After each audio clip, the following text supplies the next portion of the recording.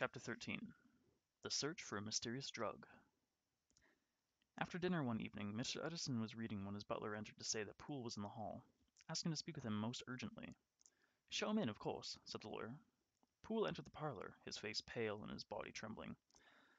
"Bless me, Poole," said Mr. Utterson, "what's the matter? You look ill. Or is the doctor ill? Come closer to the fire." "Mr. Utterson," cried Poole, "there is something very wrong. "First calm yourself," said the lawyer. "Sit down. Here's a glass of wine. Then take your time and tell me what the trouble is." Utterson was long used to handling agitated clients. Poole obeyed him. "You know the doctor's ways, Mr. Utterson, sir, how he keeps to his office, shuts himself completely away, he does, and now I'm afraid and that's the truth of it." "Afraid?" asked Utterson. "Of what?" Poole ignored the question been afraid for a week now." His voice rose. "I can't bear it any longer. None of us can." Utterson spoke a little sharply. "Poole, tell me exactly what you fear." Poole raised frightened eyes to the lawyer's questioning ones. "Foul play, Mr. Utterson. I think there's been foul play." Utterson could get no details from the usually calm, controlled, clear thinking butler. The man was now so terrified. All he could do was plead that Utterson should come and see for himself. At once Utterson called for his hat and coat, noticing the relief that swept Poole's face as he did so. It was a wild, cold night in March. The moon was pale, lying on its back as if the wind had tilted it. The wind made talking difficult, so Poole said nothing more, and Mr. Utterson remained unprepared for what he had to face. But the anticipation of disaster made him hurry. Poole knocked softly at Jekyll's front door. The door opened, but a chain was still fastened. A woman's voice asked, "Is that you, Poole?" "That's right. Open the door." They entered a brightly lit hall with a fire roaring in the grate. A huddled group of people turned anxious faces towards them, and Utterson saw they were Jekyll's servants. A housemaid was weeping uncontrollably, and Jekyll's cook ran to him, clasping her hands and crying, "Bless God! It's Mr.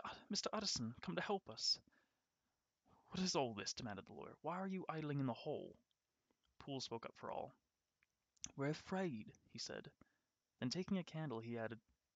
Please, sir, follow me to the laboratory. Make no noise, but just listen, and if Dr. Jekyll should want to see you, don't go in." Though amazed at this advice, Utterson did not comment. He quietly followed Poole up the stairs to the office. Poole knocked, saying, "Sir, Mr. Utterson is asking to see you."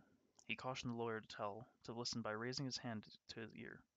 A voice from within the office said, "Tell him I cannot see anyone." "Thank you, sir," replied Poole, and they hastily retraced their steps. "Now, Mr. Utterson, was that my master's voice?" Utterson hesitated. "It's changed."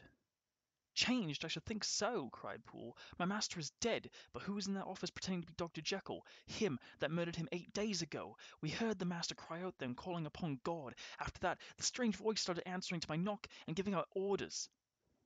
Mr. Utterson wiped his forehead for anxiety was making him perspire. "This is a wild tale you're telling me, Poole. Why would a murderer remain behind after he's done his killing? It's not reasonable." "I can answer that, sir," said Poole. "Him or it or whatever is living now in that office has been demanding some special medicine night and day.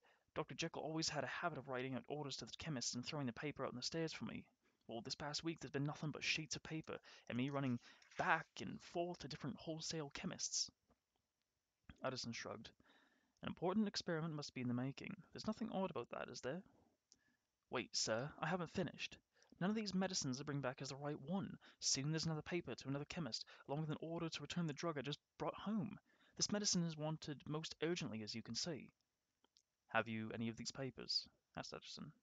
Poole searched his pockets and brought out a crumpled sheet.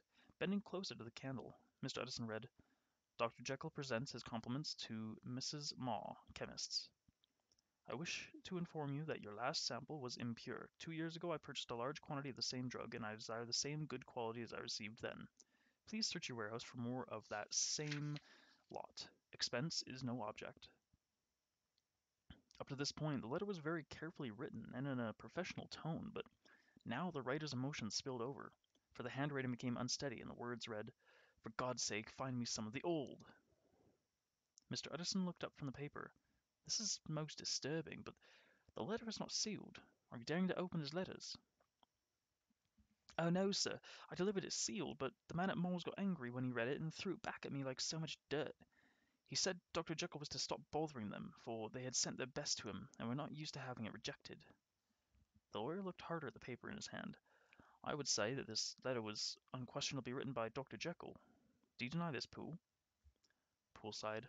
No, sir. It, it does seem very like his hand. But now I must tell you the worst part. I have seen this person, this thing, in the office. It slipped out to dig among crates in laboratory just as I came in through the garden entrance. Mr. Utterson was very still. I'm listening, Poole. He looked up when I came in and gave a funny kind of cry. Then he whipped right up the stairs and back into the office. He slammed the door something awful. Poole's voice lowered, a note of horror creeping into it. Why would my master have covered his face from me? Why would he have cried out like a rat and run from me? Poole threw out his hands in a show of bewilderment. Mr. Utterson tried to hang on to common sense logic, which a lawyer was trained to do. I grant you these are odd circumstances, Poole, but it must be that Dr. Jekyll has fallen in with a sickness that has tortured and deformed him. That is the reason for covering his face, for the strangeness of his voice, for his avoidance of his friends, and, of course, he is desperately searching for a cure, so sends you from chemist to chemist. All this is natural to my way of thinking. Now Poole drew himself up and spoke out firmly, almost defiantly, with none of his usual humility and politeness. No, sir, I say not. What I saw was a dwarf, not the tall, fine person of my master. That thing is not Dr. Jekyll. How could it be? No, I tell you Dr. Jekyll has been murdered. To that I'll swear. For two long minutes Utterson thought it over. Finally he said, Poole, if your belief is that strong, there's only one thing to do. We must go back into the house and get some tools, then break down the door to the office.